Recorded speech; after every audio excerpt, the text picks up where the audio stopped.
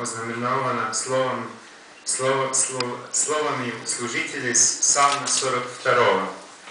Introigo ad altarem Dei, ad Deum qui latificat juventutem meam.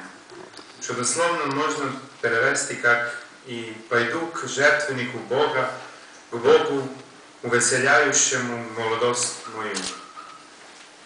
Imena zetaju fraze i každi svešenik, nezavisimo od возраста, начинал служение у алтаря.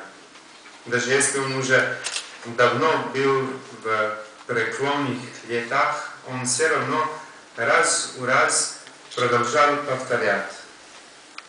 «Подаю Богу, увеселяющему молодость мою». Это может показать, показаться парадоксом на первый взгляд. Но если замыслиться глубже, мы поймем, что перед Богом мы вечно молоды, мы дети.